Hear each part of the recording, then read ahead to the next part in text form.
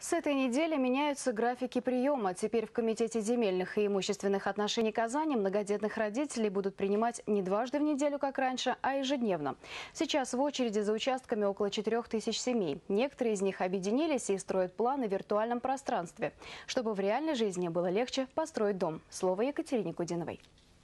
Пока эти поля пустые, но в будущем на огромном участке в селе Каймара Высокогорского района будут жить около двух тысяч семей. Сейчас многие не имеют даже представления, что и как строить, реально ли в поле возвести семейный городок. Над этим вопросом всерьез задумались многодетные родители.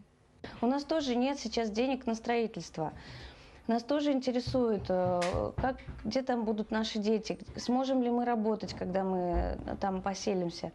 Светлана Авилова по образованию архитектор. Она взяла для расчета готовый проект дома и разработала разные варианты планировки. Этот чертеж поможет узнать, на какую сумму брать кредит на строительство. Также участники организации «Семейный городок» сообща смогут выработать общий дизайн поселения, оптом заказывать и доставлять материалы, а главное – строить дома вместе.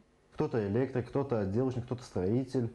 Если кто в данный момент находится без работы, могут вполне принимать участие в нашем проекте. Авторы идеи сами стоят в очереди на участок. Их обещали принять до Нового года. Тем не менее, они уже не раз встречались с многодетными и обсуждали, как обжить эти земли. Ведь масштабная стройка начнется уже следующим летом. В ожидании надела в семьи времени не теряют. Многодетные объединились в социальных сетях и ведут оживленную переписку по поводу возведения будущего городка. Всех волнует инфраструктура. Ее развитие позволит создать рабочие места для самих жителей. В планах строительства пекарни, швейной мастерской и автосервиса. Екатерина Кудинова, Павел Прищепов, Айдар Кунафин. Вести, Татарстан.